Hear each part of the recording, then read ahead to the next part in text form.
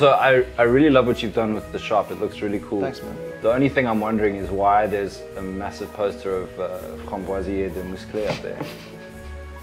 French reference. That's Welcome to uh, Morning Coffee with Mcbess. My name is Bobby Calabash. Hey, I'm Mcbess. and uh, today we're going to be looking at some more items in the store and things that uh, things that we've made. So, looking at the Stoney uh, Stoney collection. Yeah. Now, Stay green, right? Stay Green. Sorry, Stay Green. No, Uh, I mean Stoney Works is the well, yeah, is there. it's Stoney the bear, uh, alter ego of Fucky the bear. oh right, okay, Yeah.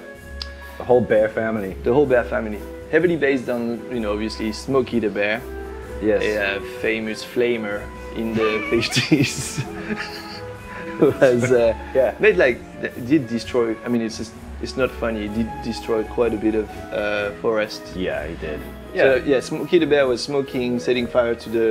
The whole saying- wilderness. Yeah, exactly. Started the whole wildfire Yeah. craze, really. Exactly. I mean, he was the poster boy for you know all these people just burning the shit out of shit. Now there's a Easter egg in the front. yes. Uh, there's this little Fittingly. bunny there who has Poor like a bunny. beep beep. Uh, can't show it on camera, and uh, it's it's it's a it's a character that we've had in the past. Um, Yeah.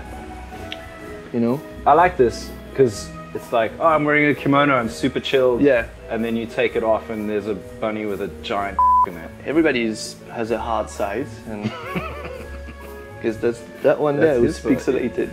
Yeah. um, yeah. Very and nice. um, yeah, so green, stay green collection, Stoney the Bear. If you care about the environment, then get, Get, this, this, shirt. and um, then you can show people that you care. And now it's, I guess, uh, Let's model it. onto the modeling.